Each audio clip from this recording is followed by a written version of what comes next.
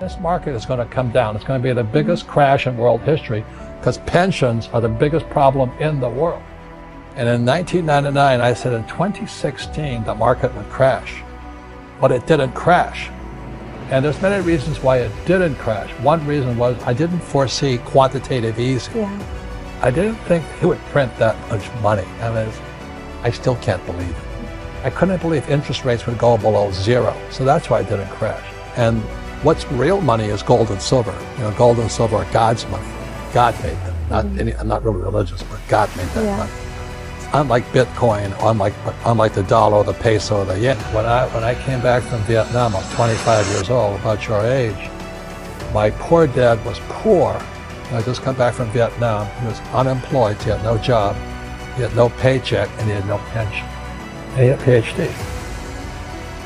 He didn't know anything. So that's why the Rich Dad Company was founded, you know, some, some years later, is because I had to prove I knew what I was doing so I could get rich without a job, without paychecks, without a pension. And that's why the Rich Dad Company was founded because with the right financial education, this crash would be the best thing that ever happened. But if you're thinking like my poor dad, PhD, poor, helpless, and desperate, you'll probably be just like him. Yeah. That's the problem. Because you know you have Uber is a complete stock market scam. You have WeWork, you have Peloton. Those are all your generation stocks. And they're complete shams. Mm-hmm. But they make a lot of money right now. So the reason I'm saying this is your greatest asset is this, your brain. Okay, so going back again 25 years, I'll be 50 years now when I graduated from school, when I was 25 years old, all of my friends wanted high paying jobs. So I get out of the Marine Corps, and what many of my classmates did, they went to fly for United Airlines. So they made a lot of money. For them, it was a lot of money. It was about 400,000 a year. I didn't take that route. hmm Instead, I went to work for Xerox to learn how to sell. Because if you're going to be an entrepreneur, you've got to sell. So when I say that to most people, they say, well, I don't want to sell. So you're not going to learn that way.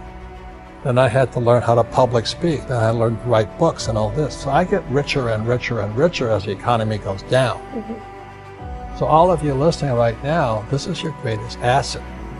And you have a chance.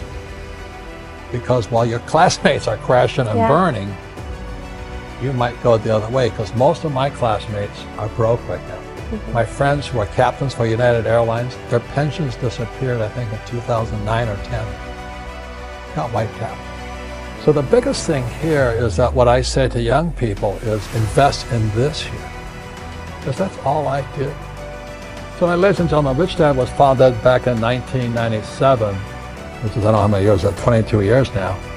But the reason is we believe in teaching people to fish. Mm-hmm. Our school system teaches you to give people fish.